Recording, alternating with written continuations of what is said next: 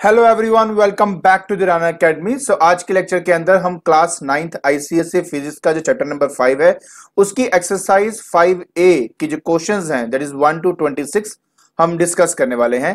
तो बिना कोई टाइम वेस्ट किए चलिए शुरू करते हैं।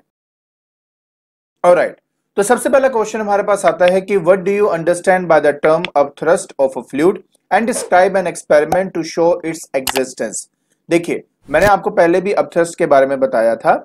कि अगर किसी बॉडी को पार्शली या होली किसी लिक्विड के अंदर इमर्ज किया जाता है तो उसके ऊपर एक अपवर्ड फोर्स एक्ट करती है और इसी अपवर्ड फोर्स को कहा जाता है आपका अपथ्रस्ट अब किसी एक्सपेरिमेंट के लिए कैसे बताना है?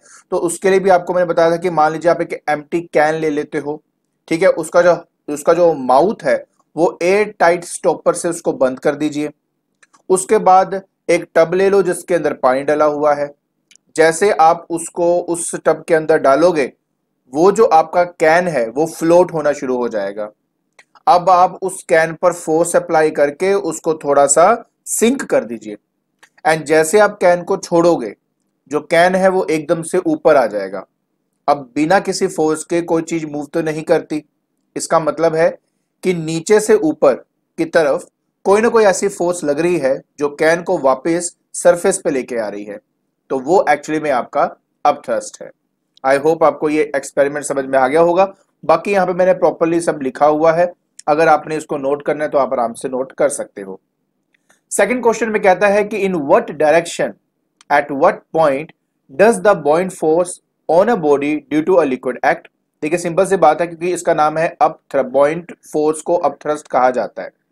तो अप थ्रस्ट मतलब वो फोर्स वो परपेंडिकुलर फोर्स जो एक्ट करती है इन द अपवर्ड डायरेक्शन तो उसी के नाम में बोला गया है कि इसकी जो डायरेक्शन है, वो अपवर्ड होगी।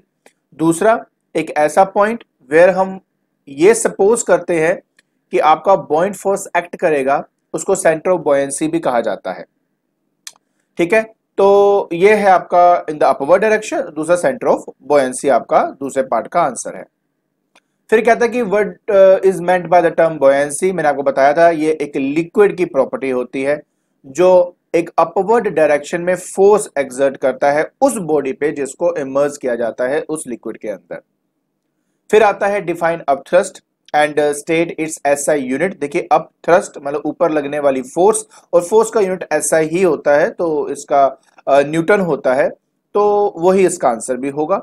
देखिए upward force exerted on a body by the fluid in which it is submerged is called the upthrust its S I unit is newton तो ये हमें अच्छे से पता है इसके बारे में। सो so नेक्स्ट में कहते हैं कि what is the cause of upthrust at what point it can be consider to act so देखिए सिंपल सी बात है।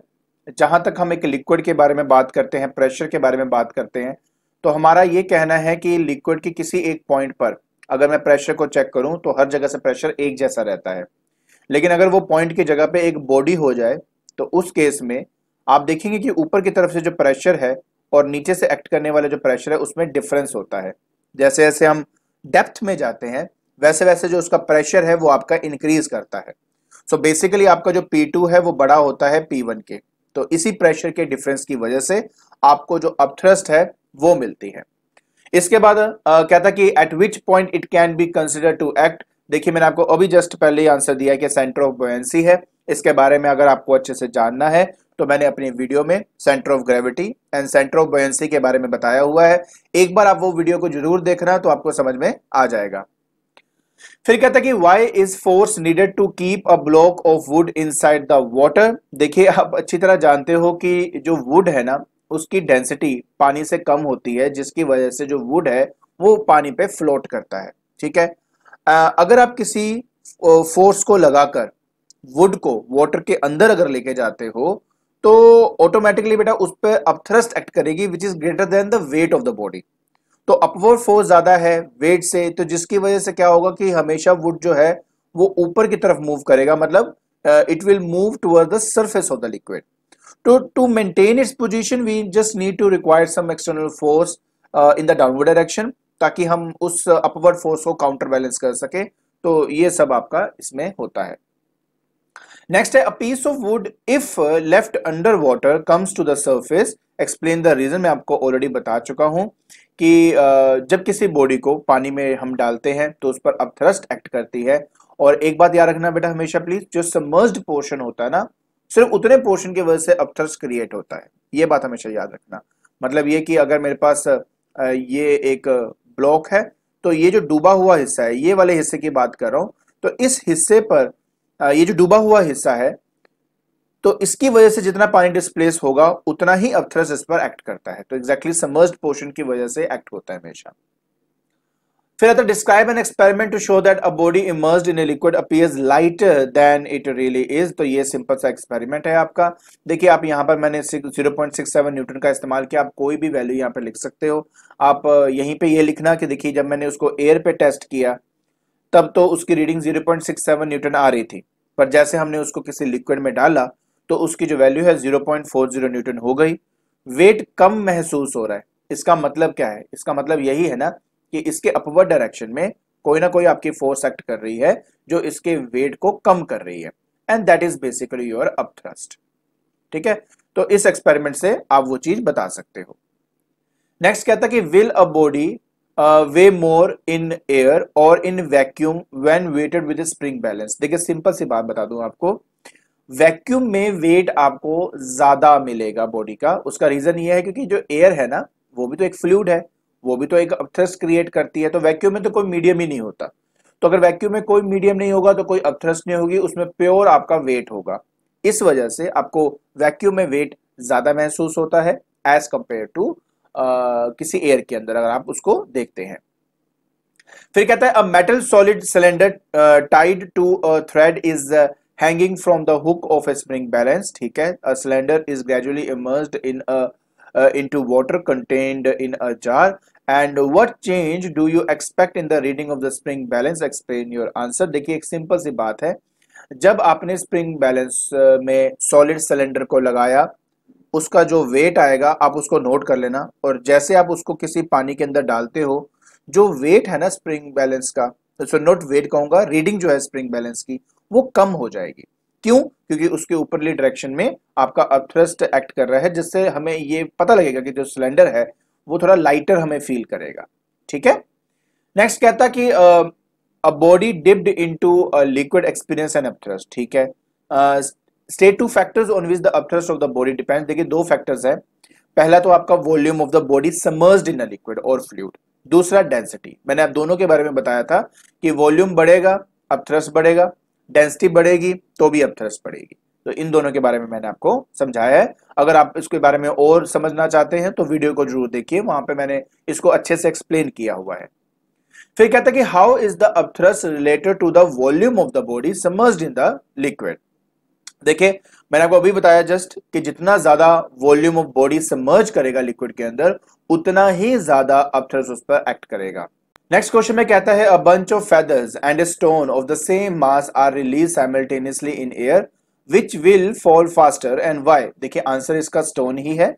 रीजन uh, ये है देखिए जो स्टोन की डेंसिटी है वो फेदर के डेंसिटी से बहुत ज़्यादा होती है। तो डेंसिटी ज़्यादा होने की वजह से क्योंकि दोनों का मास सेम है। देखिए, मैं आपको एक बार बता दूँ, ये फॉर्मूला आपको याद होगा कि डेंसिटी जो होता है वो मास अपॉन वॉल्यूम होता है, ठीक है? अगर मास सेम हो आपका तो जिसका डेंसिटी ज़्यादा होगा, उसकी वॉल्यूम कम होती है। तो इस कंडीशन के हिसाब से स्टोन की डेंसिटी ज़्यादा है फैदर से तो स्टोन का वॉल्यूम कम होगा एज कंपेयर टू फेदर जिसकी वजह से उस पर कम अपथ्रस्ट एक्ट करेगी और वो तेज़ी से नीचे गिरेगा। फिर वो कहता कि वैक्यूम में क्या होगा? मैंने आपको पहले कह दिया कि वैक्यूम में कोई मीडियम नहीं होता तो दोनों के दोनों एक टाइम पर नीचे गिरेंगे। तो उससे कोई फ़र्क नहीं पड़ता आपका। तो ये इसका आंसर है। आप चाहे तो इसको आराम से देख सकते हैं। कोई डाउट हो तो आप आ, मुझे अलग से मेल कर सकते हो। मैंने आपको अपना ईमेल एड्रेस डिस्क्रिप्शन बॉक्स में दिया हुआ है। वहाँ ज़रूर देख लेना इसको ठीक है? नेक्स्ट कहता कि body experience an upward upthrust F1 in river water and F2 in sea water when dipped up to the same level so which is more F1 और F2 देखिए सिंपल सी बात है F2 बड़ा होगा क्योंकि जो सी वाटर है उसकी डेंसिटी आपकी ज़्यादा होती है as compare to river water इस वजह से आपका F2 बड़ा होगा F1 से सो। So, इस क्वेश्चन में कहता है small block of wood is held completely immersed in number one water and number two glycerine and then release in each case what do you observe and explain the difference in your observation in the two cases देखिए, एक बात तो हमें पता है कि glycerine की जो डेंसिटी है, वो वाटर की डेंसिटी से क्या है? ज़्यादा। इस वजह से ग्लिसरीन आपको वुड पे ज़्यादा थ्रस्ट लगाएगा एज कंपेयर टू वाटर तो ऑब्वियस बात है कि अगर आप किसी वुड को, जो ब्लॉक ऑफ़ वुड है, अगर हम दोनों में डिप करोगे तो जल्दी से ऊपर आपका ग्लिसरीन में आएगा एज कंपेयर टू वाटर क्योंकि उस पर ज़्यादा थ्रस्ट आपकी एक्ट कर रही है।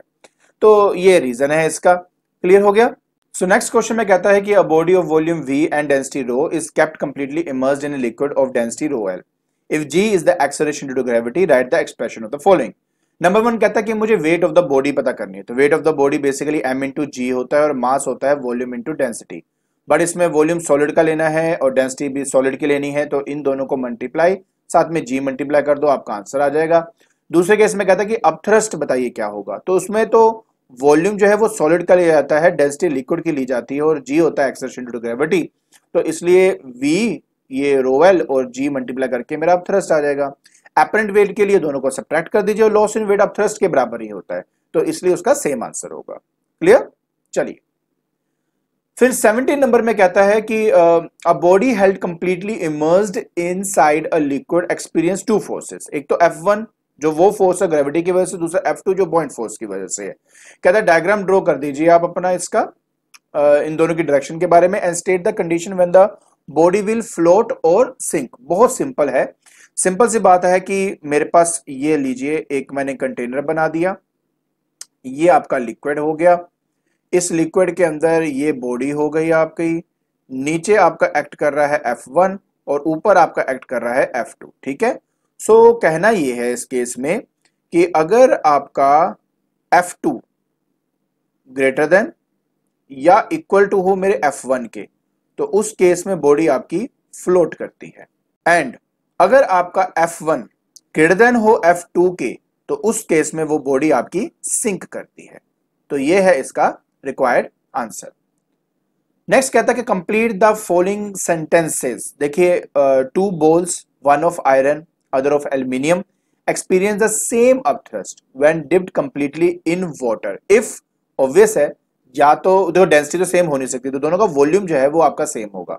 सो so, देखिए यहाँ पे लिखा है बोथ हैव इक्वल वॉल्यूम उसी तरह बाकी के दो क्वेश्चंस हैं उनके आंसर्स मैंने आपको दे दी हैं आराम से आपको समझ में आ जाएँगे। नेक्स्ट कहता है कि prove that the loss in weight of the body when immersed wholly और partially in liquid is equal to the point force and this loss is because of the difference in the pressure exerted by the liquid on the upward and the lower surface of the submerged part of the body तो देखिए ये मैंने आपको पूरी derivation करके दिखाई हुई है यहाँ पर भी और मैंने इस पे वीडियो भी बनाई है आप चाहें तो इसको वीडियो के थ्रू अच्छे से समझ सकते हैं नेक्स्ट है a sphere of iron and other of wood of the same radius are held in the water.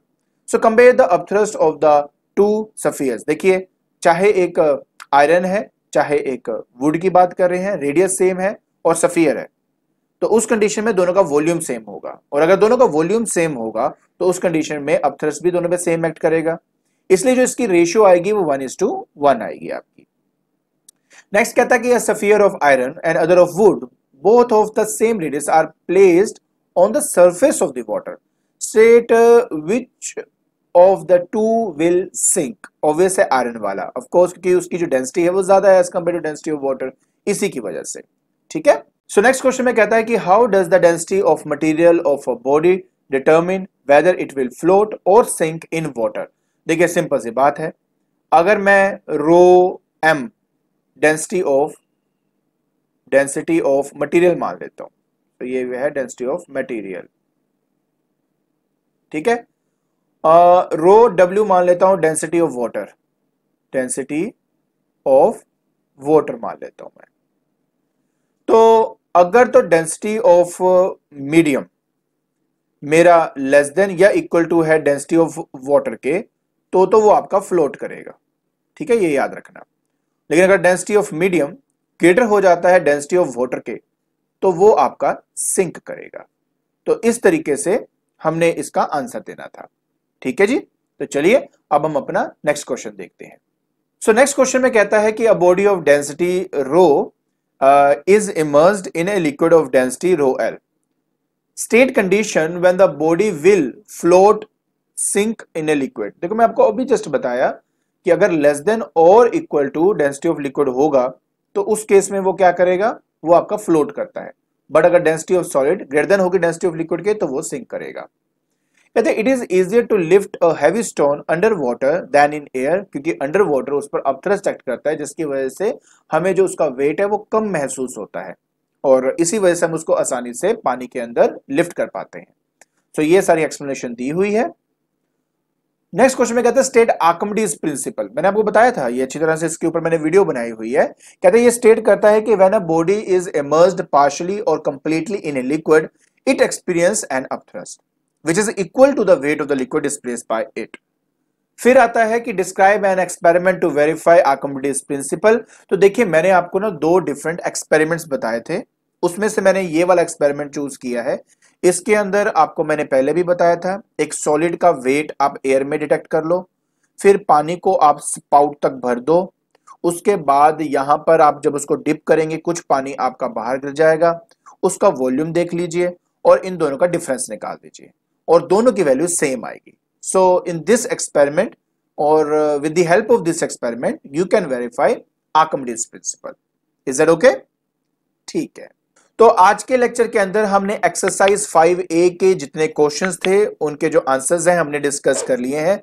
I hope आपको ये क्वेश्चंस और उनके आंसर समझ में आ गए होंगे। अगर आप डायरेक्टली ये वीडियो देख रहे हैं और क्वेश्चन आंसर देखोगे तो शायद कुछ क्वेश्चन के आंसर आपको समझ में ना आए। तो प्लीज़ आप मेरी वीडियोस को देखिए। वहाँ पर मैंने उसको अच्छे से एक्सप्लेन किया हुआ है। अगर आपको मेरी वीडियो पसंद आ रही है तो please like it share it and subscribe it आज के लिए बस इतना ही। Thank you so much